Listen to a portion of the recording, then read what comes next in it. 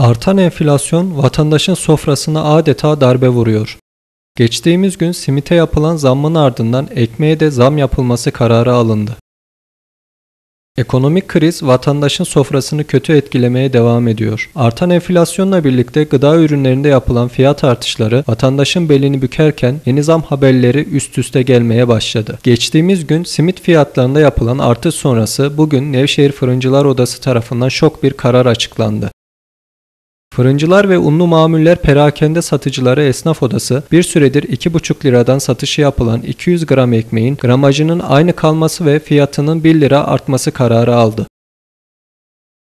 Alınan karar ile Nevşehir'de 200 gram ekmek 15 Haziran çarşamba gününden itibaren artık 3,5 liradan satışa sunulacak.